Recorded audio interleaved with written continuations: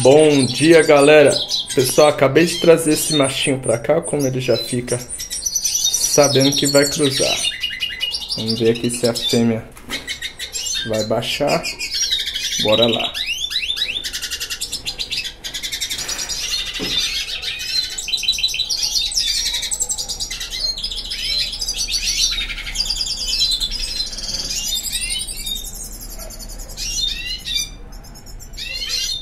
Gala concluída. Pessoal, quem não é inscrito, inscreva-se no canal, curta e compartilha, que é o criatório Pintacilgos Brasileiros e CIA, né?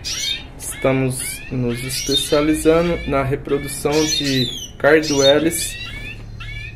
Carduelis é um nome antigo, hoje a sigla científica é né? Essa, esse casal aqui é o Spinus magellânico, o nosso conhecido Pintacilgo Pinheirinho, Pintacilgo Mineirinho, Pinta-Silva, né? né? Ou Cabeça Preta. Então tem os três nomes aí popular.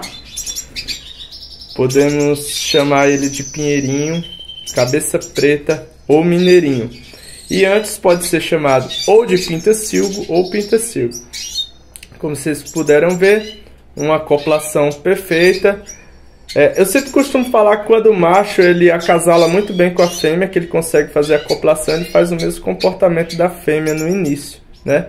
Ele fez o mesmo comportamento só que na grade lateral. Eu vou deixar mais um tempinho aqui, que esse machinho ele gosta de cruzar duas vezes. Então ele vai esperar uns 5 minutinhos aqui, que eu não vou continuar gravando, né? Mas logo na sequência ele vai lá e consegue acoplar ela de novo. Essa já é a quarta vez que ele consegue né, acoplar essa fêmea. Agora é esperar ela pôr o primeiro ovo aí, né, para termos os, os outros filhotes que já tem filhote magellânico aqui no criatório, ok? Então, quem não é inscrito, inscreva-se no canal e muito obrigado a todos.